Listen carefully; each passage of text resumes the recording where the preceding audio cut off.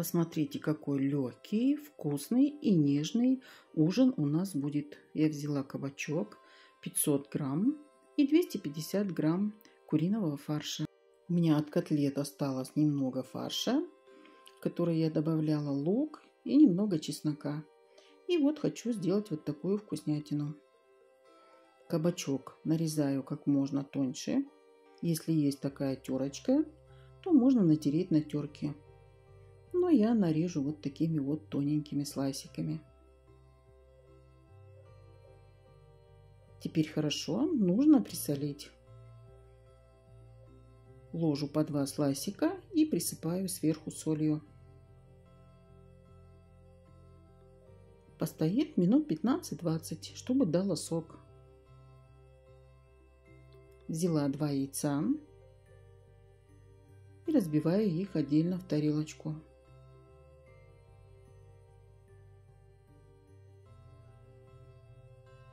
Яйца надо немного присолить.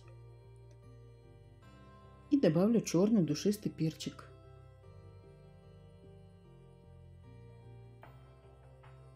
И хорошо нужно все взбить. Перемешать, а не взбить. Просто хорошо вот так перемешиваем яйца. Кабачки постояли и стали вот такие вот мягкие и послушные. Я их промыла в холодной воде и теперь нужно убрать с них лишнюю влагу. Я взяла бумажные полотенца и пропитаю лишнюю влагу.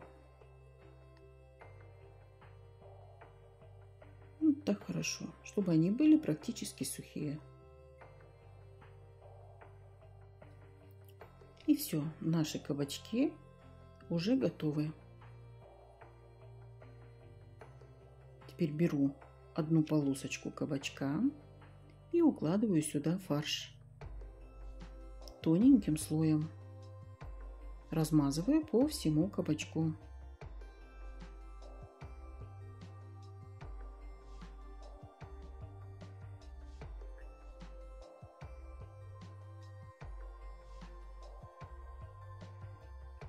Теперь складываю вот таким вот конвертиком.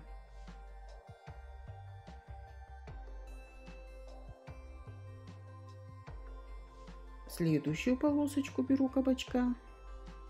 Опять наношу сюда фарш. Желательно брать куриный фарш, потому что он готовится быстрее.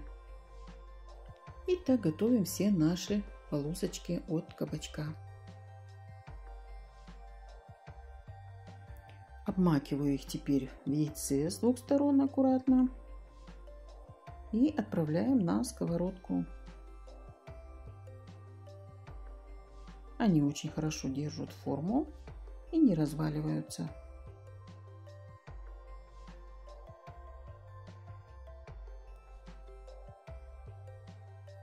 Будем обжаривать с двух сторон при закрытой крышке. Огонь у меня средний. Как только с одной стороны обжарились, переворачиваем их на другую сторону. Опять закрываю крышечкой и прожариваем вторую сторону.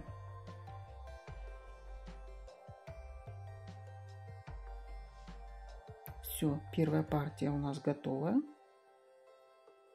И так потихоньку будем обжаривать все наши заготовочки от кабачка.